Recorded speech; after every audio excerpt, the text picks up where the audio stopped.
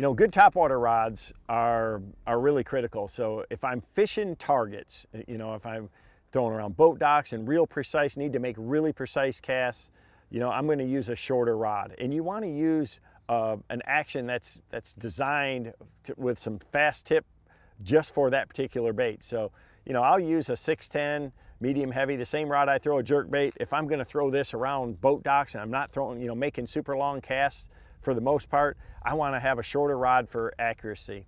Uh, you know, day in, day out, I love this popper on a seven foot medium action. It's got a, you know, it's got a real fast tip.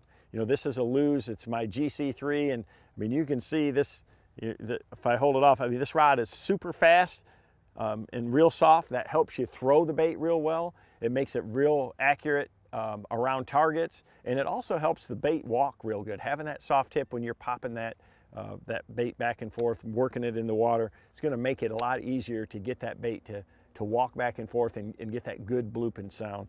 So targets, you know, a shorter rod. If I'm throwing these big stick baits out in the open and accuracy is not important, I throw the same type of thing, but uh, a bigger version. This is a 7.4, it's a medium heavy. It's got that same super fast tip to it. Um, you know, I, I wanna have that flexibility that makes it make the uh, work the bait very easy. I can still be pretty accurate with this with this rod, but I've got a lot more leverage to make, you know, a really long cast. And with this uh, sexy dog, I mean, I can throw it 60 yards very easily. So I'm gonna spool it up. I like, you know, 50 pound braid, uh, and I'll, you know, make sure that I'm using green braid and I'll color the last little bit just so the fish don't see it. But even on that super long cast, it's super easy to keep this bait working on top. These sexy dogs are probably the easiest bait in the world to, to work. All you gotta do is pull the rod tip towards it just like you would a jerk bait and point it back at it, just a short little, you know, one foot twitch and it just makes that bait go back and forth. It's a very easy thing to do. I throw them always on a high speed reel because you're always working the bait with the, the rod tip. You shouldn't be moving your bait with the reel itself. You should always be moving the bait with your rod tip. The reel's just picking up slack, so use the fastest reel that you can that you can possibly get just for that reason. And uh, you know, you can go to lighter braid. Some guys like it.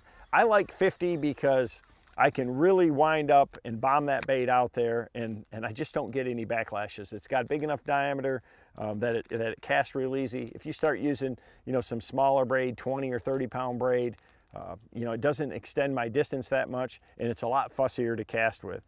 Now the popper, it's totally different. This is the one technique that I am still adamant about using monofilament on. You know, braid, uh, it does float, but I just have a hard time keeping the action of that. And it, because it's a slower moving bait in the water, I don't want to have uh, a line that's easy for the fish to see. So I use a green monofilament. Usually I'm going to use 14 pound.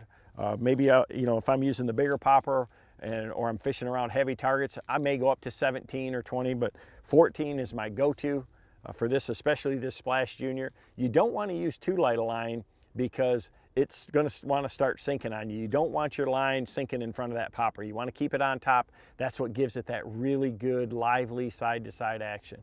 What I love about this little finesse popper is how lively it is when you're working. So when you got the right combination, a nice soft tipped rod that has some backbone to it, you can be deadly accurate and throw it around targets and really get that bait having the maximum action where it just really walks back and forth. It's very erratic and they just can't help but come up and swallow it. You know, the time to throw a topwater uh, really varies. And I, and I know, you know, seasonally it can make a difference. You know, when you got bass, in that shallow zone around targets, and that's the spawn and the post spawn when you really see that a lot. I'll throw top water all day long.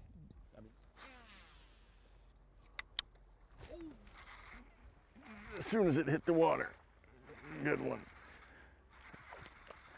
it's just the perfect place to throw that popper. You know, I, I love poppers around targets. You know, if you can, whether it's a grass flat, and I got a little of both right here. It's just a good solid fish right there. But there's some pencil reeds there and some holes, and then there's a lot of scattered grass on this flat right here. So anytime you can get this near something, that subtle, you know, action that it has really just makes a, a big difference. So I'm just gonna get it there, let it sit there. I mean, that one um, hit it I barely let it hit, popped it one time, and he just exploded on it. Obviously landed close to him. And the information Bass University provides isn't your basic run-of-the-mill fishing video. This is specific information from A to Z to help you learn, get to the water, and become a better angler quickly.